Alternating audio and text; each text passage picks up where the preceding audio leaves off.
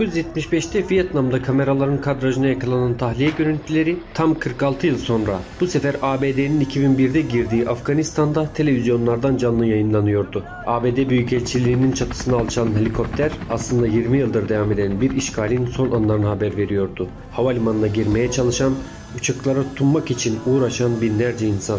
ABD'ye karşı 20 yıl savaşmış Taliban işte bu görüntülerle başkent Kabil'in kapılarına dayanmış ve birkaç gün sonra ülkeyi kontrol altına almıştı. İmparatorluklar mezarlığı olarak anılan ülke Taliban yönetiminde bir yılı geride bıraktı. Ben Selami Kökçam. Taliban'ın bir yılını ve Afganistan'ı İran uzmanı Rahim Farzan ile ele aldık.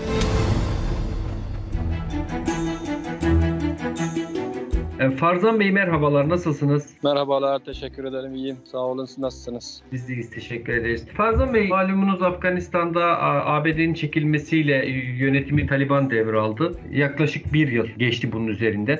Afganistan'daki genel durumu nasıl değerlendiriyorsunuz? Sosyoekonomik açıdan özellikle biraz üzerinde durmak istiyoruz. Askeri konulara, diğer konulara daha sonra değineceğiz. Ama sosyoekonomik açıdan Afganistan'da Taliban'la birlikte neler yaşanmaya başladı? Evet, şimdi hatırlayacağınız üzere geçen sene tam bu dönem bugün hatta e, yani 15 Ağustos 2021'de Taliban Afganistan başkenti Kabil'i ele geçirmişti. Sürpriz bir şekilde ele geçirmişti. Hiç kimse beklemiyordu. En kötümser tahminler bile yani CIA'nin raporları en az 6 ay merkezi hükümetin dayanacağını varsayıyordu. Fakat beklenmedik bir şekilde Taliban Afganistan'ı ele geçirdi. Ondan sonra tabii ki hemen herkes bir şekilde bu realiteye uymak, bununla uyum sağlamak durumunda kaldı. Çünkü farklı seçenekler çok daha zorluydu. Taliban artık savaşı kazanmış bir güç olarak Afganistan'da iktidara geldi. Bundan sonra tabii ki uluslararası toplum olsun, Afganistan halkı olsun Taliban'dan bir takım beklentileri vardı. Bunlardan tabii birincisi Taliban'ın uluslararası terörizme ev sahipliği yapmaması, yani Afganistan'da yer vermemesi. İkincisi de yeni Afganistan'ı çok istikrarlı bir duruma sürükleyecek, yeniden bir iç savaşa sürükleyecek uygulamalara gitmemesi. Bu ne demekti? Yani adaletli bir sistem oluşturması, yönetimde diğer etnik gruplara, mezhebi gruplara da yer vermesi Evet. Üçüncüsü de tabii ki yine komşu ülkeler özellikle Afganistan'da Orta Asya ülkeler olsun, İran olsun. Bu ülkelerin Afganistan'da Taliban iktidarından çekinceleri vardı. Bu ülkelerin de beklentisi Taliban'ın bu çekinceleri gidermesiydi. Şimdi baktığımızda sizin sosyoekonomik e, diye bahsettiğiniz durum yani ikinci başlığa denk geliyor. Afganistan'da Taliban adaletli bir sistem kurabildi mi? Yönetimde diğer etnik gruplara da yer verdi mi? Ya da güvenlik anlamında iyileşme oldu mu? Şimdi dün Afganistan eski Cumhurbaşkanı Karzai'nin bir açıklaması vardı. Evet, evet. Güvenlik güvenlik dışında hemen her alanda Afganistan geriye gitti diyor. Yani güvenlik dediği de şu, Taliban gelmeden önce tabii Taliban muhalif grup olarak savaştığı için ülkede güvenlik sağlanabilmiş değildi. Bir yerden bir yere gitmek çok zordu. Dolayısıyla her gün hemen her gün patlamalar oluyordu. Savaşta askerler ölüyordu, sivil siviller hayatını kaybediyordu. Yani bu anlamda bir iyileşme var. Biz bunu Afganistan'daki tanıdıklarımız, arkadaşlarımız, ailelerimiz itibariyle de öğreniyoruz. Şu an bir güvenlik anlamında bir istikrar var. Millet bir yerden bir yere giderken en azından eskisi gibi endişeli değil. Ama diğer konularda ekonomi çok kötü. Yani işsizlik zaten almış başını gitmiş. Peki Farzan Bey şunu bir kıyas yapmanızı istesek burada. Yani e, Karzai döneminde yani NATO'nun e, Afganistan'da bulunduğu dö- dönemle bugünü kıyasladığınız zaman yani normal bir Afgan vatandaşı için neler fark etti? Şimdi Karzai dönemi diyecek olursanız Karzai dönemi iyiydi. Niye iyiydi? Karzai dönemi ilk her iki dönemi de uluslararası güçlerin Afganistan'a yeni geldiği dönemdi. Dolayısıyla o zaman Afganistan'da biraz böyle irade de vardı. Dış güçlerde de yani dış, dışarıdan gelen e, işte ABD olsun uluslararası koalisyonda da biraz Afganistan'ı iyileştirelim iradesi vardı. O yüzden çok büyük meblağlarda yardımlar da oldu. Yani nakdi yardımlar. Dolayısıyla ekonomi iyiydi. Yani millet de çok umutluydu. Gelecekten umutluydu. Ama daha sonra Aşraf Gani ile birlikte bu süreç düşüşe geçmeye başladı. Yani eğer karşılaş, e, karşılaştıracak olursak zaten Taliban gelmeden öncesi yani belki Taliban gelmeden 2 sene 3 sene öncesi çok da fark etmez yine benzer durumlar yaşanıyordu. Yani özellikle iç savaş dolayısıyla Hı hı. tarım birçok yerde tarımsal faaliyetler yapılamıyordu. Zaten Afganistan'da ekonomi büyük oranda bu tarımsal faaliyetlere yani millet geçim kaynağı tarımsal faaliyetlerden sağlıyor. Dolayısıyla Şimdi Farzan Bey, Farzan Bey lafınızı kesiyorum. Şimdi burada e, insanların Türkiye'de ve dünyada insanların merak ettiği konu şu. Yani e, bu farkı sorarken aslında şu şuna dayanıyoruz biz. Yani nihayetinde bir 2001'den itibaren oluşmuş devlet kadroları vardı. Eşref Gani'ye gelene kadar hükümetler geldi geçti.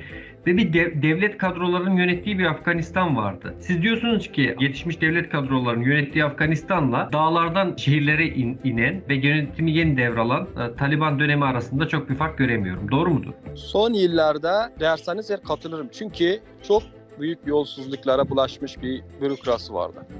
Yani o yüzden devlet de- de- işlemez hale gelmişti. Yani siz bir en ufak bir işiniz varsa günlerce onun peşinden koşmak durumunda. Siz hemen hiçbir şey hal olmuyordu. Bu anlamda diyorum ama şunu da unutmamak gerekiyor. 20 yılda her şeye rağmen sonuçta Afganistan halkının elde ettiği bazı kazanımlar vardı. Demokrasi açısından, etnik veya mezhebi grupların hakları bakımından, kadınların hakkı bakımından biliyorsunuz yasal düzenlemeler vardı Afganistan'da. Kadınların siyasi hayata, toplumsal hayata katılmaları için parlamentonun üçte biri kadın olmak durumundaydı. Dolayısıyla böyle düzenlemeler vardı ama bunlar tabii ki Taliban gelmesiyle birlikte ortadan kayboldu. Bu anlamda çok geriye gitti toplum. Evet. Ama ekonomik açıdan bakacak olursanız demek istediğim şu zaten ülke ekonomisi tamamen kırılmış. Yani son yıllarda yani neredeyse çökme eşiğine gelmiş durumdaydı ki Taliban'ın ülkeyi ele geçirmesi bu durumu daha da, daha da şiddetlendirdi. Peki e, Farzan Bey bir, bir diğer önemli konu. Şimdi Taliban tam bir yıldır Kabil'de yönetimi ele geçirdi. Taliban içinde tam bir konsensüs sağlanmış durumda mı? Yani fikir birliği var mı? Afganistan'ı nasıl yönetecekler? Taliban içinde bir görüş birliği var mı? Hayır, bundan söz edemeyiz. Bunu son dönemdeki bazı olaylarda da aslında net bir şekilde gördük. Yani Taliban Afganistan'ı ele geçirdiğinden beri Taliban'ın içerisinde fikir ayrılıkları olduğuna dair ciddi dedikodular vardı. Ama bazı olaylar bunu artık inkar edilemez bir şekilde ortaya çıkardı. Birkaç gün önce Al-Kaide lideri Zawahiri'nin Kabil'de öldürülmesi. Şimdi Evet. Taliban Doha Anlaşması ile birlikte başta ABD olmak üzere şu sözü vermişti. Biz uluslararası terör örgütlerine Afganistan'da yer vermeyeceğiz. Ama buna rağmen gördünüz ki El-Kaide lideri Kabil'de imiş. Şimdi burada çok sayıda iddia ortaya atıldı. Bunu ABD istihbaratı nasıl elde etti? Bunda da şey dendi. Yani Taliban içerisinde iki grup var. Biri Hakkaniler, Hakkani grubu diyor, diyor Evet, Pakistan'a yakınlar bunlar. Biri de Mulla Baradar ve Mulla Yakup. Mulla Yakup kim? Taliban'ın kurucu lideri Mulla Umar'ın oğlu şu an savunma bakanı. Bu iki Evet, grup arasında belirli konularda anlaşmazlıklar var diye dedikodular dolaşıyordu. Şimdi burada ABD'nin Zavahir'ini öldürürken Mulla Yakup ekibinden bilgi aldığı yönünde iddialar ortaya atıldı uluslararası basın tarafından. Şimdi bunlar aslında baktığımızda doğru olma ihtimali çok yüksek olan iddialar. Çünkü Mulla Baradar ve Mulla Yakup'un grubu Afganistan'ın uluslararası toplumla daha uyumlu bir siyaset yürütmesini istiyor ve Taliban önümüzdeki Eylül ayında gerçekleşecek BM Genel Kurulu toplantısında da tanınmak için çabalıyordu. Yani meşru Afganistan meşru hükümeti olarak. Fakat Zawahir'in öldürülmesi artık bu ihtimali ortadan kaldırdı. Burada şunu görüyoruz. Taliban içerisinde bir konsensus yok. Zaten Taliban kendisi de beklemediği anda Afganistan'ı ele geçirdi. Yani dolayısıyla Afganistan'ı yönetmek için bir program, belli bir planları da yok. Bunu Mullah Baradar da itiraf etti. Hiç bu kadar hızlı bir şekilde ülkeyi ele geçireceğimizi beklemiyorduk diye. Yani zaten bu grupların, bu tür grupların hep sorunu şu olmuş. Savaşırken iyiler fakat belli bir ülkeyi yönetmek durumuna geldiklerinden sonra da ne yapacaklarına dair plan programları yok. Evet kesinlikle çatışma bölgelerinde genelde Farzan Bey bu şeyi çok rahat görebiliyoruz. Yani çünkü motivasyonları düşman saydıkları ülkeye veya güçlere karşı birlikteliklerini daha çok sağlayabiliyorlar. Daha rahat sağlayabiliyorlar. Ama o motivasyon ortadan kalktıktan sonra asıl meseleler gündeme geliyor ve burada da iç çatışma başlıyor. Peki Farzan Bey şu konuya değinmek istiyorum. Taliban yönetimi ele geçirdikten sonra Taliban'a karşı olan muhalifler zaten ülkeyi terk etti. Bazı gruplar hala ülke içinde mevcuttu ve silahlı çatışmaya da yönelecek bazı açıklamaları vardı. Ülkede Taliban'a karşı silahlı bir çatışma başlaması ihtimalini ne kadar yüksek görüyorsunuz? Yani Taliban ülkeyi çatışmasız, istikrarlı bir şekilde yönetebilecek e, bir ortama sahip olabilecek mi sizce?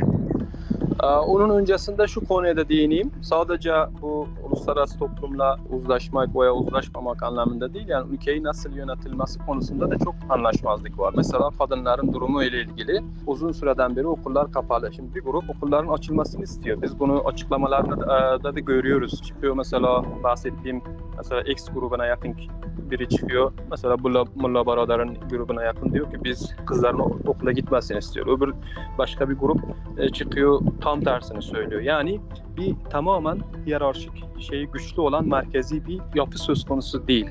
Yani herkes şu an itibariyle yani şu ana kadar herkes bir telden çalıyor. Yani birçok konuda anlaşmazlık var. Hala bir anayasa oluşturabilmiş değiller. Temullah Hibbatullah hepsinin üzerindeki isim o. Sözlü bazen açıklamalar, bildiriler yayınlıyor. Hiçbir şekilde uygulamaya geçmiyor. Yani bu tür şeyler hala devam ediyor. Silahlı muhalefet konusunda Taliban Kabil ele geçirdikten sonra Penşir merkezli bir direniş grubu vardı. Eski mücahit grup liderlerden Mesut'un oğlu Ahmet Mesut liderliğinde. Bunlar teslim olmayı reddettiler dağlara çekildiler. Şimdi onlar bir senedir sürdürüyor savaşı. Fakat çok küçük gruplar bunlar. Yani Taliban'ı sıkıntıya sokacak duruma evrilmesi şu an için söz konusu değil. Bir de şunu unutmamak gerekiyor. Afganistan'daki ciddi tahavvüller yani değişimlerde hep dış güçlerin bir katkısı olmuş. Yani bu gruplar ciddi bir ülke tarafından desteklenmediği sürece Taliban'a tehlike yaratamazlar. Şu an böyle bir ihtimal görünmüyor. Hatta şey dendi, şimdi bunlar Tacik ya, Fars kökenli. Evet. Bunlar İran'la çok uzun zamandan beri süregelen ilişkileri var. Şimdi İran acaba yardım eder mi? Çünkü Taliban'ı da istemiyor ya evet. içinde yani ideolojik şeyler, düşmanlar. Daha bugün İran Afganistan özel temsilcisi Kazimi Kumi'nin açıklaması vardı. Diyor ki ABD yani bu grubu isim veriyor. Cebhe Mukamet yani Milli Mukavemet Cephesi, Milli Direniş Cephesi bu cephenin ismi. Bu grubu destekleyerek diyor Afganistan'da istikrarsızlık oluşturmak istiyor. Yani İran açıkça bu grubun ABD destekli bir direniş olduğunu söylüyor. Yani destek vermek bir yana. Şu an İran siyaseti tamamen başka bir yönde. Taliban'la uzlaşma yönü dayan. Dolayısıyla bir ihtimalde İran olabilirdi derken yani tamamen başka yoldan ilerliyor şu an. Yani ben bu ihtimali çok düşük görüyorum. Kısa vadede çok düşük görüyorum. Ha yine bu ihtimal ne zaman artar biliyor musunuz? Mesela Al-Kaide lideri Afganistan'da öldürüldü. Bununla birlikte Al-Kaide'nin Afganistan'da güçlü bir şekilde varlığının olduğu ortaya çıkmış oldu. Mesela bu tür bulgular artmaya başlarsa bunlar bölge ülkelerini ve diğer işte küresel güçlerin çıkarlarına tehlike yaratacak boyutlara ulaşırsa güçlü Al-Kaide varlığı, güçlü DAEŞ varlığı. O zaman ancak birkaç ülke bir araya gelir. Afganistan'da herhangi bir grubu destekler ve süreç de olgunlaşmış olur. Yani Taliban da kendi içinde ayrışmalar ortaya çıkmış olur. Ülkede başarılı başarı sağlayamamış olur. Ee, yine Taliban'ın kötü uygulamalar dolayısıyla çok sayıda muhalif gruplar oluşmuş olur. Ancak o zaman bir ihtimal e, veriyorum. Şu, bu da çok yani kısa vadede pek mümkün gözükmüyor. Peki Farzan Bey son sorumu sormak istiyorum. Biliyorsunuz Afganistan'ın her zaman diasporası vardı. Afgan diasporası Amerika'da, Avrupa'da, yurt dışında genel anlamda. Ülkeden çıkan yöneticiler, ki bakanlar, üst düzey yöneticiler Diasporadaki Afganlar ne yapıyor? Nasıl bir çalışma yürütüyor? Afganistan'a dönme konusunda umutları var mı? Ya Taliban'la uzlaşma da olabilir. Bu veya bir karşı bir yönetimi ele geçirme operasyonu da olabilir. Diasporadaki Afganistanlılar ne düşünüyor? Ne yapıyorlar? Şimdi diasporadaki Afganistanlıların dün bir toplantıları vardı. Bunlar Skype üzerinden yaptılar. E, Zoom üzerinden yaptılar toplantılarını. Yani durumunu aslında onların ne durumda olduğunu anlatmak açısından çok önemli. Bir bildiri yayınladılar. Şimdi düşünebiliyor musunuz? Yani bir araya bile canlı yüz yüze bir araya bile gelemeyen bir e, eski liderlerden bahsediyoruz e, ediyoruz ya da sizin deyiminizle Afganistan diasporası. Yani bunlar aslında şanslarını kaybettiler. Bunlar geçmiş 20 senede yani millet tarafından daha önceden var olan o sevgi saygıyı da kaybettiler. Çünkü eğer bunlar yeteri kadar güçlü olsalardı bu kez mesela son kez Taliban gelirken yine bunların arkasında halk durarak savaşırdı. Savaşmadı halk. Çünkü 20 senede, geçmiş 20 senede bunlar eski mücahitlerden birer artık derebey mi diyeceksiniz? Birer artık evet. şeye dönüşmüşlerdi bunlar. Silahlı güçlerini kaybetmişlerdi. Halkla olan bağları kopmuştu. Tamamen hepsi yani birer barona dönüşmüşlerdi. Yani zengin, mülk sahibi, yurt dışında yatırımları olan. Taliban gelince bunlar kaçtı, gitti. Hepsi e, gidebildiği yerlere yani yurt dışındaki evlerine. Şimdi bunlar Zoom üzerinden ancak toplanabiliyorlar. Ancak Zoom üzerinden toplantılar yapabiliyorlar. Sadece bunlardan Mesut'un oğlu işte Ahmet Mesut'u ayrı tutuyorum. Çünkü genç, daha Afganistan halkı belki yarın bir gün Taliban'a karşı bir direniş olursa ona belki biraz zaten kendi halkı Tacikler güvenebilir. Onun dışındakiler hepsi güveni kaybetmiş durumda. Yani bir Taliban'a alternatif ve Taliban'a tehlike yaratacak şu an durumda değiller. Siyasi bakımdan da öyle bir güçleri yok. Halkın işte taban olarak da yani halk da bunlar böyle bir şeyi yürütmek isterse olumlu yanıt vermez. Zaten bunlar yine başka ülkelerin yardımıyla geçmişte bir şey yaparken de yapabiliyorlardı. Tarzan Bey çok teşekkür ediyorum bizimle bu yayına katıldığınız için. Rica ederim sağ olun.